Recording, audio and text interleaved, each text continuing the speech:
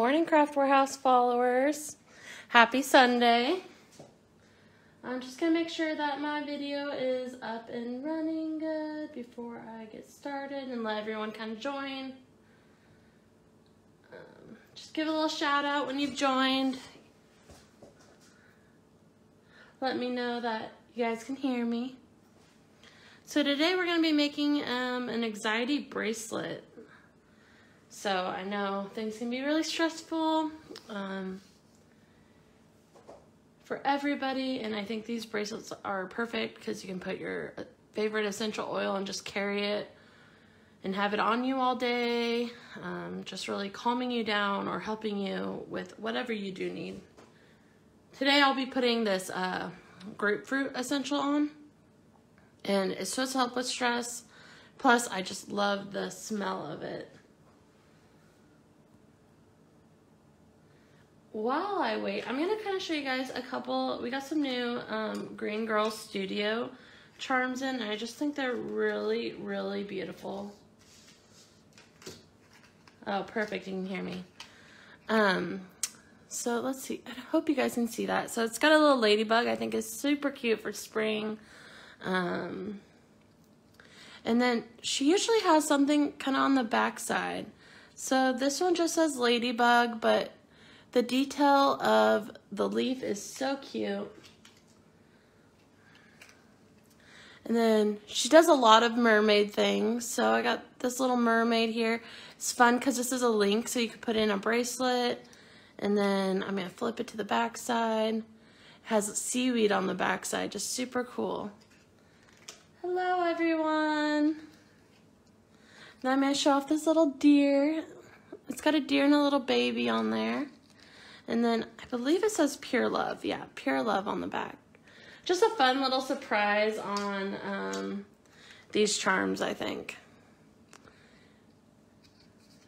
And then this one says, To thy own self be true. Just a little feather. Super simple, so you can find your design you like, but then it has like a little hidden message on the backside. I love it. Um, okay, so I see I got some people. Everyone's saying hello. Linda says hi from Seattle. So today we're going to be using um, elasticity. And I'm going to be using this Aqua Quartz uh, Kiwi turquoise kind of color here. And then I, and they're both eight, eight millimeter. So, and then I'm just going to be using these black lava beads. Uh, Barb loves Green Girl. I love Green Girl stuff. It's just so unique. Um, and she designs everything herself, which I love. And then I'm going to use a couple spacers here. I'm going to need your help, your guys' help in helping me decide. But I am going to pull these all out. Give me one second.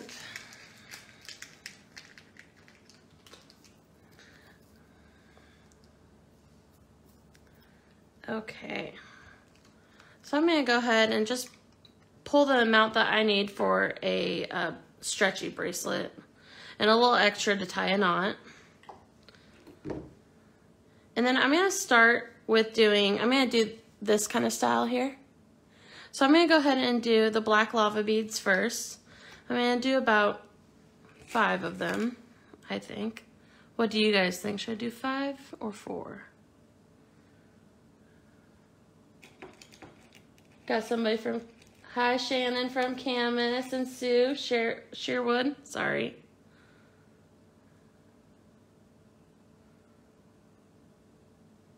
So if you haven't worked with lava beads yet, they are a little porous bead, so you can put your essential oils in.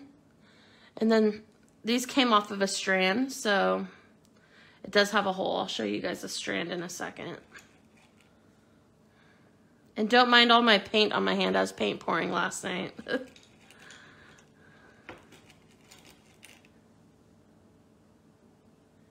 Barb says do five. Okay, we'll do five of these.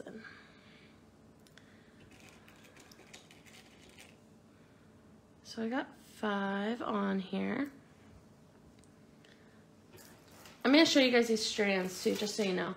I have, we do have black and white. So I'll show you a white project at the end here. But we have black and white lava beads. We have, only in the colors do we have the 8 millimeter, but in the black we do have a smaller, so if you prefer a 6 millimeter, and then we also have larger. So I wanted to go ahead and put spacers on here. And I was thinking about this black one. I don't know if you guys can see it. got some blingage versus a clear one. I'm going to be doing this, remember, I'm going to be doing this guy here. So they got some black specks in it. And then I do have this one. So it kind of hugs on that. Oh, it's not focusing. Come on. It'll hug on that bead and then have some blingage. I don't know why that one's not focusing. Let's see if it'll focus down further for me. Linda says black.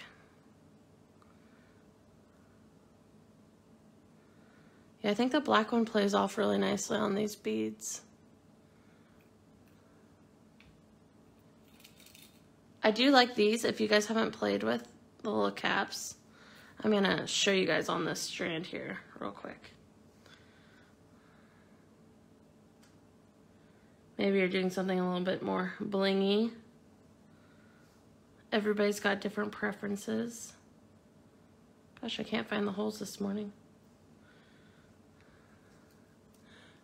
And look how fun that can be if you have the right.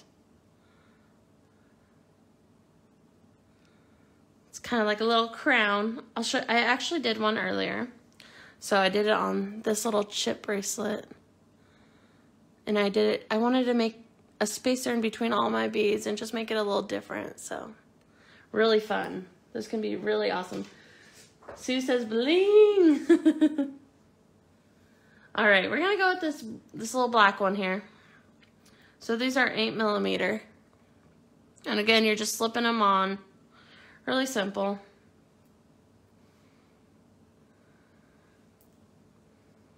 And then um, I'm gonna probably for, I have a bigger wrist, so I'm probably gonna see what eight beads on each side looks like. And you're just gonna keep string, stringing them on. Um, it's super easy. I'm using this 0.8 millimeter elasticity here. And I like the elasticity over the Elonga. If you guys, this is our Elonga. Because I just feel I've it holds better for me. Um, one thing is if you have a smaller hole, you could go twice in the bead with this guy versus only once. But it is a preference. The Elonga is just a little bit more stretchy and I'm very rough with my jewelry. So I really like to have something nice and sturdy. And I tend to like heavier beads, so like something that can hold a little bit of weight. Now, one thing when you guys are making your own little anxiety bracelet, um, you can also choose different stones. Different stones are going to help you with different things. So if you're looking, you know, for stress or maybe um, just better communication, that's also going to change what bead you are going to want to use. Or maybe you want both, so you do a different essential oil every day on your um, lava beads and then have, you know, a bead that helps you with your communication.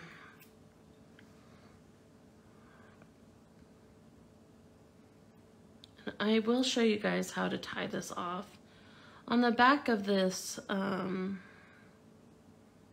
gosh, I'm shaky this morning. I don't drink coffee, so I'd say I'm shaky from coffee, but I don't drink coffee, so.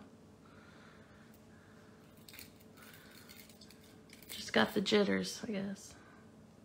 I'm going to show you guys how I tie these knots, and I've noticed they hold secure. I My fingers are a little bit clumsy, so I have a hard time tying the little knot on the back of the elasticity.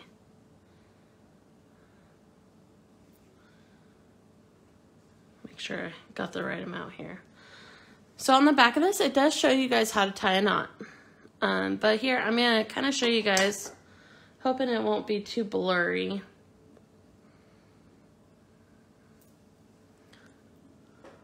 Okay, So you're gonna tie it like a shoe, right? And then I go ahead and just loop it around one more time. And then you're gonna pull it and then do one more time. So tying a shoelace, sorry. And then once more over. And then I'm just gonna pull it nice and tight. And then I also pull the two strings. So it's gonna get your knot nice and secure. Um, and then if I have room, I will go back through with my um, cording so you can't see it. Or let's say you have, let me see if I have one with me. Maybe you have a larger hole bead that you can hide your knot with. I don't actually think I'm gonna be able to get this undone. But if you put like a wood bead would be really cute, or maybe you drill out one of your lava beads so you can hide your knot. Otherwise, you can just go ahead and make sure you use your, I like to use the GS Hypo Cement. Um, I just like it because, let's see, if I closed it. I'm horrible at closing my things, but it's got a really precise tip so I can get the glue where I want without getting it everywhere. Um, and then it also has a little needle that will go back in so it prevents the tube from drying out. Because I don't know about you guys, but I struggle with my glues and getting things closed. So I'm going to go ahead and pull this apart. And then I'm just going to kind of get that glue on the knot where I need it to be. And then you want to make sure you let the glue dry before you snip off your um, access stretchy cord. And then I'm just going to show you guys. See this has that nice little tip? Sometimes it's a little difficult to get in there, but...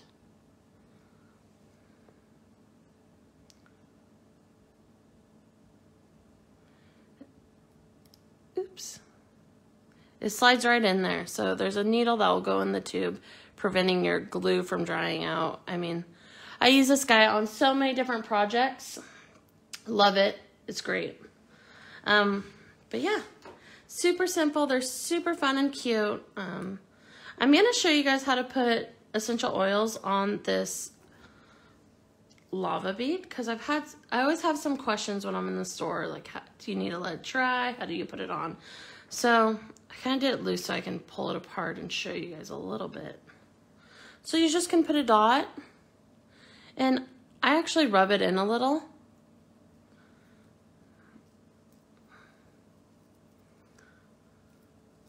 And I just kind of go over all the beads. Now, I do, before I put it on, I really let it kind of soak in and absorb into um, those beads because I don't want it to get on my clothes.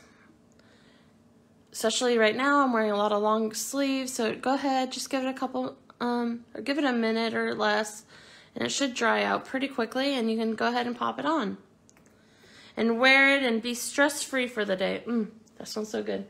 I wish you guys could, I could show you guys a scent of this grapefruit. It smells so good. I love it. Um, especially, it does help with stress, so it's perfect for this anxiety bracelet. Now, if you're not a huge bracelet person, you can totally do some projects that are simple and using lava beads. So you could do like a little necklace. This is with the Green Girl Charm. And I just took the wire. I took a 20 gauge and I did um, some loops with it with the one-step looper. Super simple, but yet you can wear those essential oils with you all day, helping you with your anxiety, your stress, or maybe you're just trying to stay more calm, whatever it may be. Um, these are great. And then we also have these little spheres. So they just pop open and you can put your essential oil on your bead. You can close it and maybe you have this on a keychain or you have it as a necklace. Either way, it's super fun. Super easy way, especially if you are nervous about staining your clothes. Um, this will not touch you. So you'll be fine right there. Super nice. And then again, I just wanted to show you guys. We do have the white lava beads. It's really easy and fun to mix. Mix the colors with different beads. It gives you different looks throughout the day, your week. I am gonna really quickly, oops, sorry, I hit my camera. I'm gonna show you guys these beads. They're so fun. We just got them in. They're, they're the Aura beads. Um, oops, snuck one in there. They're just super shiny. And I love that I can make this look beachy. I could just make something su summery and fun. Um, I could mix lava beads with these. So I'm going to show you guys a quick little bracelet. Um, sorry, my video is cutting out, I guess. Blue. Blue is very, very pretty. Maybe I'll do a blue and I'll pop a quick little one of these green girl charms on. What do you guys think of that? I also really like this multi, oops, this multi one. I can see like doing a little kid's bracelet with this. This would be really fun. Maybe your kid is struggling with, you know, all the online schooling and this kind of could be a fun little bracelet for them. Let's do this. Let's go and do this multicolored one. Yes. Yes, please. The blue? The blue, is that what you're saying? Sorry, my video got delayed. I'm not sure. Okay. Let's snip, snip. Elaine, I like the multicolor too. I think it's super fun.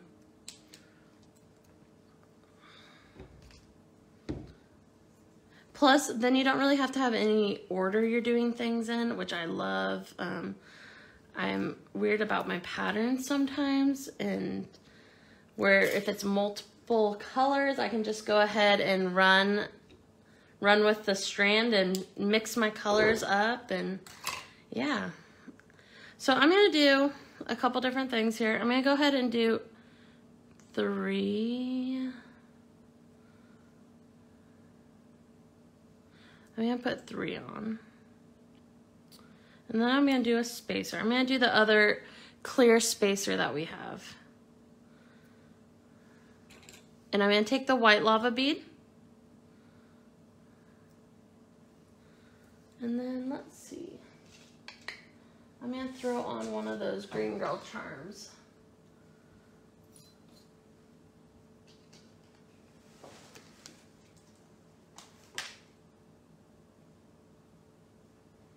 Just trying to get it out of its package, you guys. Give me a second.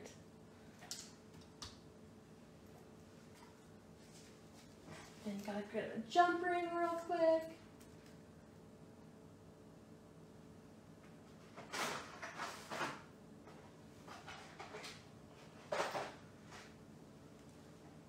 Oops.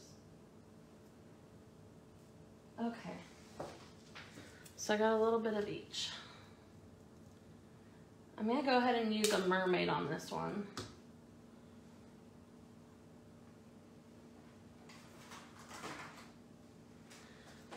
I want to show you guys, since I don't have a jump ring with me, I have these pliers here, and I'm just to go ahead and make a jump ring out of this.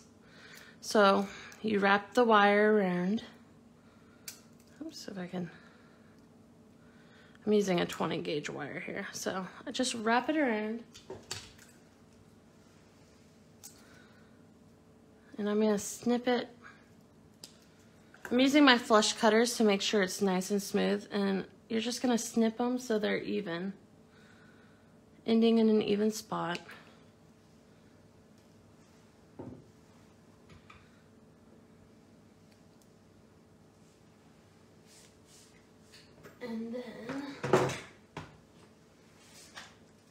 Take your pliers, just open it up. Usually I have two, I only brought the one out today, sorry.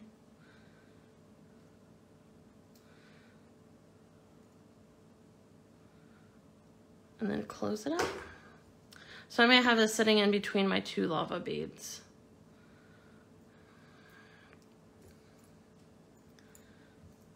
I don't know if you guys can see that. Let me move them all. Okay. Really like the white with this blue.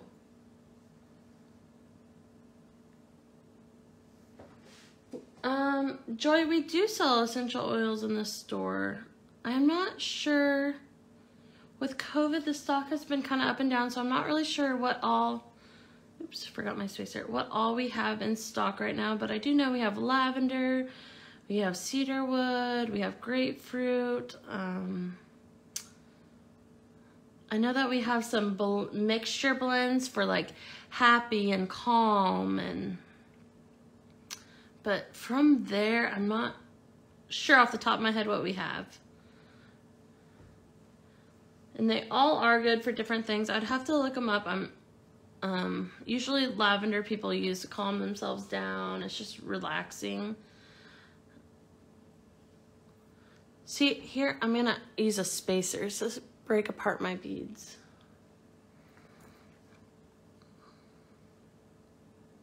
I can kind of post a little list of what we have and after we're done and what they are good for. We can do that for you.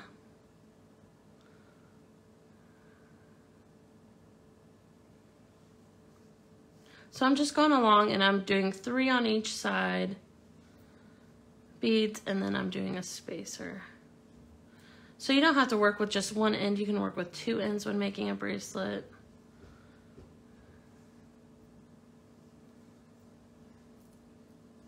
I don't know, but I can smell that grapefruit and it's so, so nice.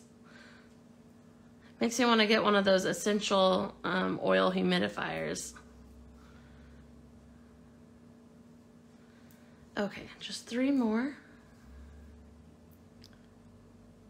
One thing I love about the stretchy elastic cord is it's so easy to make a bracelet. Um, so you can make one of these for everybody in your that needs it in your life or yourself. Maybe you want, maybe you do want one for every day. Okay, again, I'm gonna show you guys that knot. I'm gonna bring it up like tying a shoe. So one and then twice around. And then I'm gonna tighten it. And then once more. So like you're tying a shoe and once more around and then just pull it nice and tight. And then you want to make sure you're pulling both strings. Um, I am not sure off the top of my head what the length of my first bracelet was. I'm guessing it was probably about an eight, eight inch bracelet. I do have a uh, wider wrist than most. Usually a seven or a six and a half works. Um, ooh, maybe I'll have to go check out new seasons for that. But, and then this guy I did a little bit smaller because I'm at, that's gonna be for somebody else. But yeah, it's got that little green girl charm. So you got the mermaid and the seaweed on one side. And then you have that fun blue and just that little hint of white. And then of course the blingage. Another fun thing you can do is any of your um, metal bead spacers. This guy didn't do it on elastic, but you can put metal bead spacers in between and those go on your elastic perfectly as well. But yeah, that is all I got for you guys today. But we do have some more events coming up, so please check those out. We're to have more coming up in February try and provide you guys with that fun um, make and take experience, even though we aren't able to do it in stores.